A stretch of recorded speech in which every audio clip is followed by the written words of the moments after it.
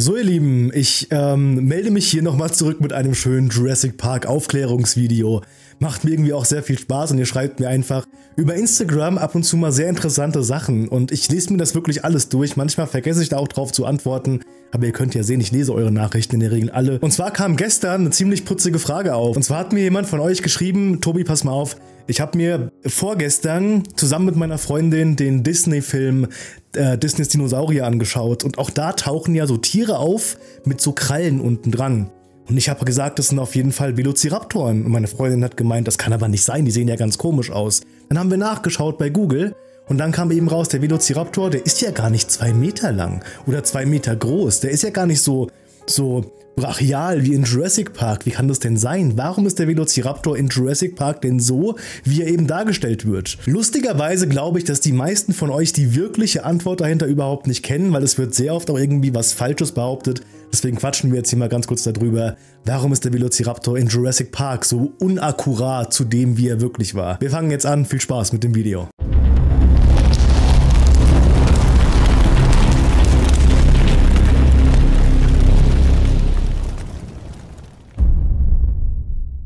Ja, also bei dem Thema, warum ist das hier so unakkurat, das finde ich immer schwierig, wenn wir jetzt von der heutigen Zeit ausgehen, weil wir auch heutzutage wissen oder weil wir sehr stark davon ausgehen, dass die Dinosaurier damals wohl auch wesentlich farbenfroher gewesen sind, dass die wohl auch wesentlich mehr Federn oder auch so Fell hatten. Das war ja eben damals alles gar nicht so. Deswegen gehen wir jetzt einfach mal zu dem Punkt, als Jurassic Park auch als Buch erschienen wurde und das war in den 80ern gewesen. Zu diesem Punkt wusste man eben noch nichts von den Federn, auch noch nichts von dem von dem, von dem Fell, das manche von denen hatte. Wenn man also danach geht, waren für die damalige Zeit die Dinosaurier in Jurassic Park bis eben auf den Dilophosaurus, da habe ich ja auch schon ein Video dazu gemacht, das habe ich dir mal da oben verlinkt, da kannst du gerne mal draufklicken. Das Tier ist nämlich auch wesentlich zu klein in den Filmen dargestellt. Oder aber auch der Velociraptor, denn der Velociraptor in den Filmen ist nicht wirklich vom optischen her der Velociraptor, wie er eben damals dargestellt wurde oder wie man sich das Tier damals eben nach den Fossilienfunden vorgestellt hat. Und eine gängige Meinung dazu ist einfach, dass Michael Crichton sich hierbei geirrt hat. Michael Crichton hat den Velociraptor genommen, obwohl er eigentlich den Deinonychus gemeint hat. Das ist so die offizielle Geschichte, die im Netz rumkursiert. Das Ganze ist aber nicht so ganz richtig. Denn tatsächlich ja, die offizielle Größe des Deinonychus, offiziell zur damaligen Zeit auch als das Buch geschrieben wurde, ist eigentlich die, die Michael Crichton für den Velociraptor benutzt hatte. Und sowas dürfte eigentlich gar nicht passieren, weil auch beim Schreiben des Buches Jurassic Park oder im Deutschen der Dino Park hat Michael Crichton ja auch Hilfe von dem ein oder anderen Paläontologen gehabt, die eben für die damalige Zeit dafür gesorgt haben, dass bestimmte Dinge akkurat umgesetzt wurden. Also wie konnte das denn jetzt hier passieren? Und der Grund dafür ist relativ simpel. Ist ein Fehler, den ich auch immer wieder mache. Ich benenne immer wieder bestimmte Dinosaurierformen und ihr schreibt mir in die Kommentare rein, Tobi, Dinosaurier A und Dinosaurier B sind inzwischen ein und derselbe Dinosaurier. Da hat man eben früher gedacht, dass das zwei verschiedene Varianten wären. Inzwischen geht man aber eben davon aus, nein, das ist ein und dasselbe Tier. Das ist mir bei irgendeinem Langhals öfter mal passiert. War es beim Brontosaurus, glaube ich. Ihr könnt es mir nochmal in die Kommentare unten reinschreiben. Bitte nicht böse sein, ich weiß es schon wieder nicht mehr.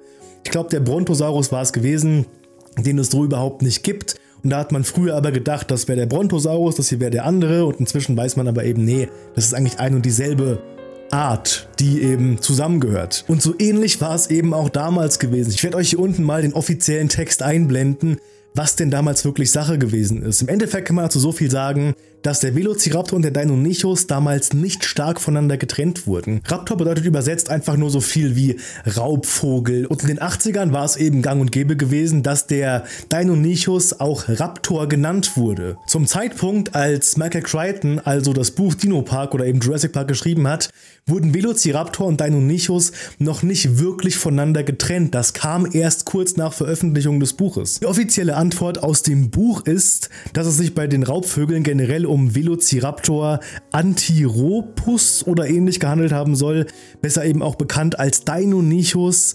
antriopus, eine eben noch größere Raubvogelart. Kurioserweise ist aber auch der Deinonychus nicht so groß oder eben so lang gewesen wie die Velociraptoren in den Jurassic Park Filmen oder eben im Buch. Wir gehen jetzt hier noch vom Buch aus, weil das Buch kam ja noch vor dem Film raus. Einige Zeit allerdings nachdem das Buch erschienen ist, wurde das erste Fossil eines sogenannten Utara Utahraptor entdeckt und der weist exakt die Merkmale auf zur damaligen Zeit, die Michael Crichton im Buch Jurassic Park oder eben Dino Park, naja, für die Velociraptoren benutzt hat. Das heißt, im Endeffekt hat Michael Crichton hier den Deinonychus beschrieben, weil das eben früher noch nicht wirklich getrennt wurde voneinander.